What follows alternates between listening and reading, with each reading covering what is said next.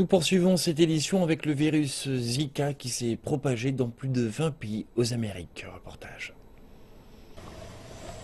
Le virus Zika, transmis par les moustiques, peut créer une anomalie congénitale, connue sous le nom de microcéphalie. Il s'agit d'une maladie chez les nourrissons qui naissent avec une tête anormalement petite.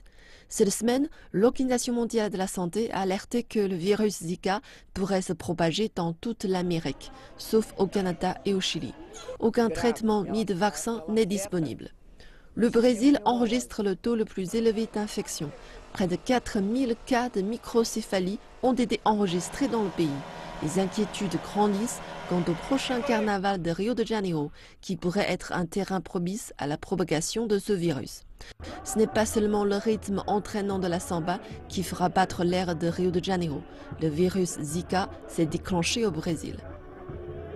Cette semaine, la ville enverra des fumigadeurs dans le stade du carnaval, également connu sous le nom de Sambodrome, qui est la scène de parade des hautes écoles de samba qui se produiront les 7 et 8 février. Le stade sera également le lieu des événements des Jeux olympiques en août.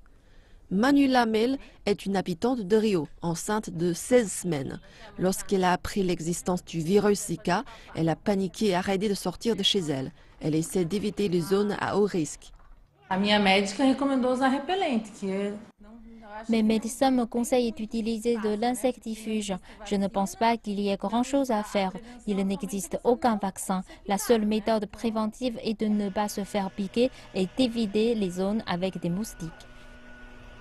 Les experts de la santé sont en train d'étudier la raison du déclenchement du virus, qui est apparu récemment au Brésil. Le gouvernement a ordonné à l'armée de chercher des zones d'eau stagnantes où pourraient abriter ces moustiques. Même si les inspecteurs de la santé ne trouveront certainement pas les lieux de reproduction des moustiques, le Brésil prend des mesures préventives. Beaucoup d'argent sont en jeu, comme des centaines de milliers de touristes se rendent à la parade chaque année et le Brésil s'attend à accueillir encore plus de visiteurs lors des Jeux olympiques de cet été.